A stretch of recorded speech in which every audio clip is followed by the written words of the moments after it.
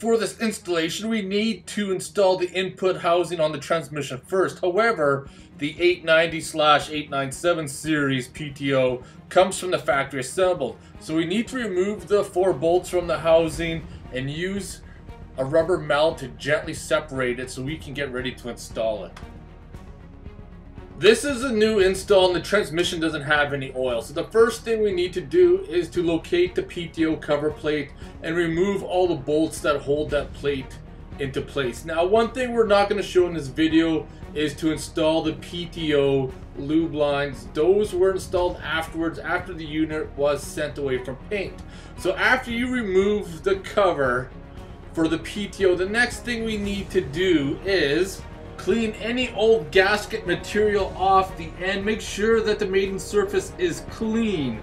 And then the next thing we need to do is install the dowel pins until they bottom out. Make sure they are in the correct location for how you're doing the install.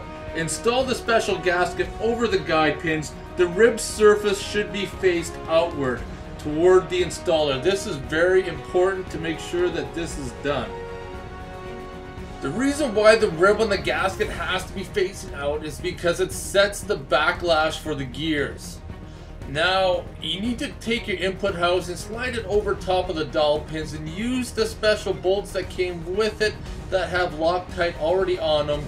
Stick them in, tighten them down to 40 to 50 foot-pounds of torque, and then we're going to get ready to move on to the next step.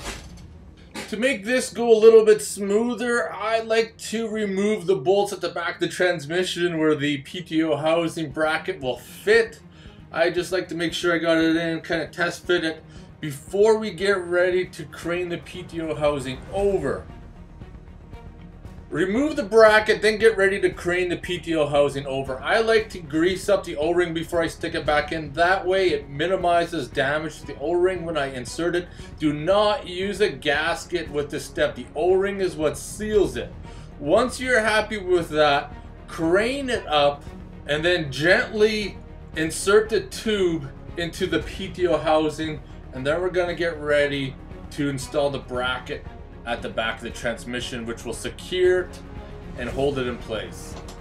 The final step is to attach the bolts. The four hex head cap screws that attach the tube to the PTO housing should be torqued to 30 to 35 pounds. The three longer bolts in the transmission should be torqued. If you have a 3000 family, it's 66 to 81 foot-pounds of torque. If you have a 4000 family, it's 74 to 89 foot-pounds of torque.